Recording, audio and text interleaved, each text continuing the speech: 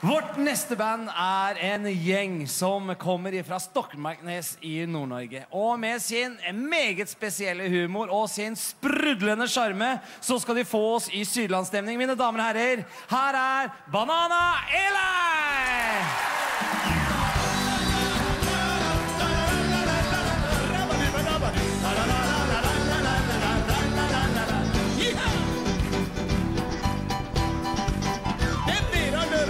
Fest igjen, og jeg har lite kasse på rommet.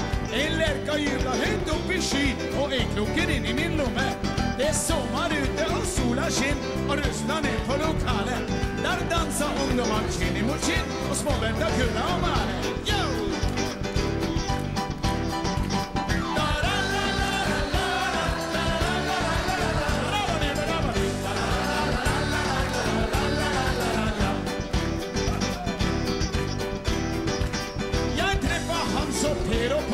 Vi tar inn en skål bakom huset. I smeltas ved ligger gult gebiss og biter seg fast i en truse. Det klirrer vakkert i flaskefôr, småfinger synger opp i bakka. Og det er så deilig at det vil ha vår, og kasta skjorta og jakka.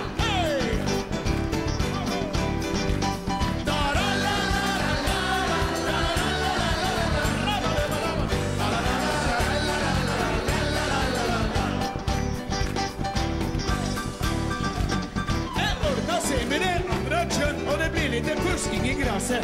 Jeg vil ha tott og klem og ligge på marka og rase. Vi liker å kose oss alle tre, både jeg og jenta og Lenka. Vi liker å kose og ha det bra, og sola går ned bakom kjerka.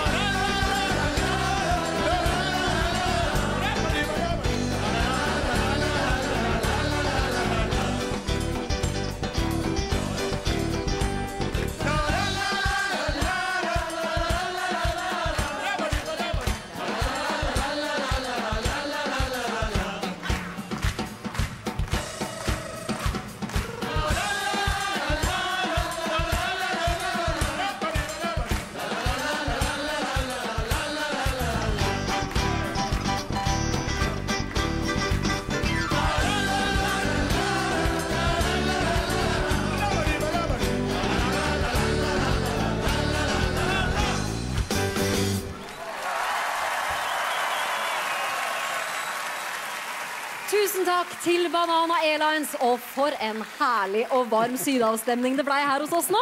Ja, og heitere skal det bli, for vi er snart tilbake da med mer Banana Airlines.